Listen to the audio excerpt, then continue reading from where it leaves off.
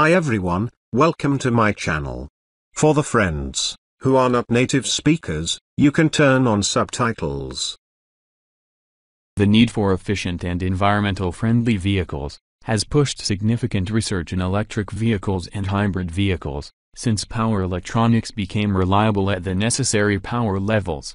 The demand for rare earth magnets is also further exacerbated by the growth of wind power, which is projected to consume a significantly greater share of rare earth magnets than hybrid vehicles.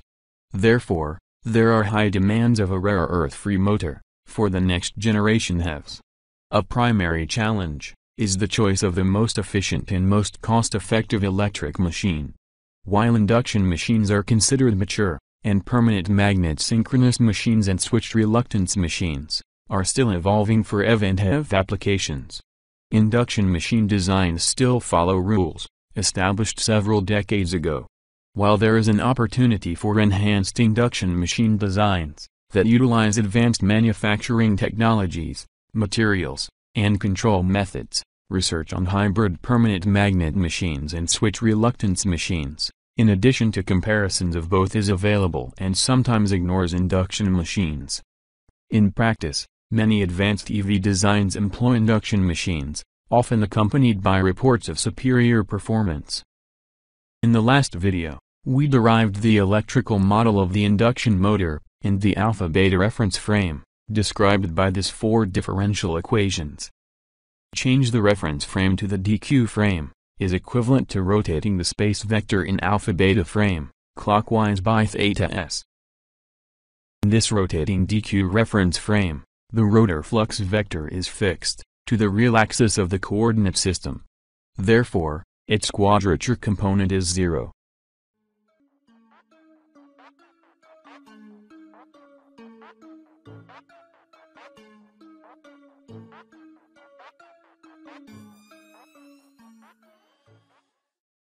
Based on the real and imaginary components of this equation, the dynamic electrical model in the DQ reference frame is obtained. It can be shown that the rotor flux in the DQ reference frame satisfies these equations.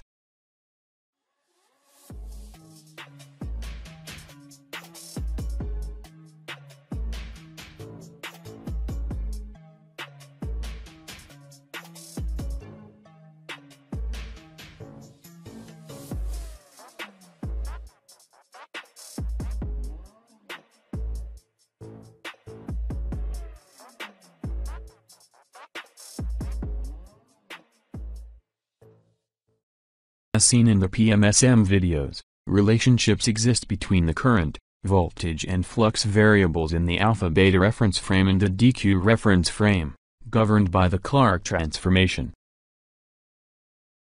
The electromagnetic torque of induction motor is calculated using the cross product of the space vectors of rotor flux and stator current in the DQ reference frame.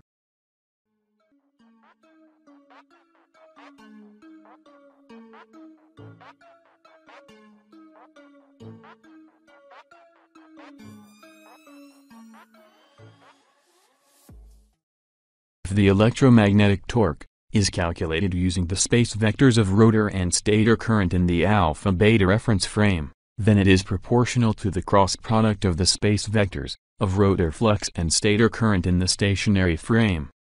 Note that the expression of electromagnetic torque in the DQ reference frame is only related to PCRD and ISQ. These two variables are DC variables, thus the torque control can be achieved by controlling PCRD and ISQ to their specified constant reference signals. On the other hand, in the alpha-beta reference frame, it is much more difficult to achieve torque control, because its expression is associated with the fluxes in alpha-beta reference frame, that are sinusoidal signals.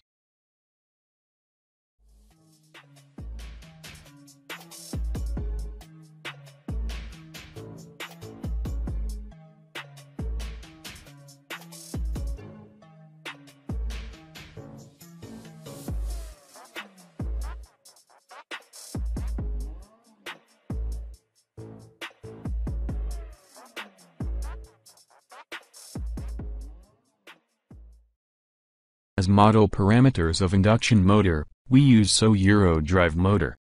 We can extract from the datasheet, nameplate of the induction motor. These physical parameters are used in this video series for simulations and experiments.